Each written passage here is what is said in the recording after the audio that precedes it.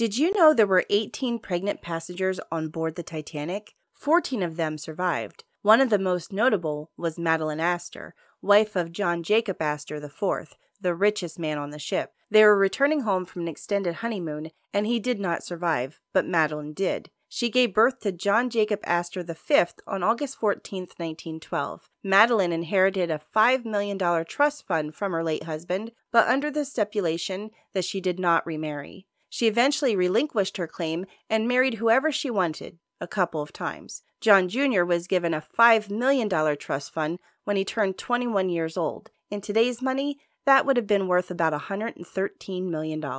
Now you know, and if you want to know more, hit that subscribe button.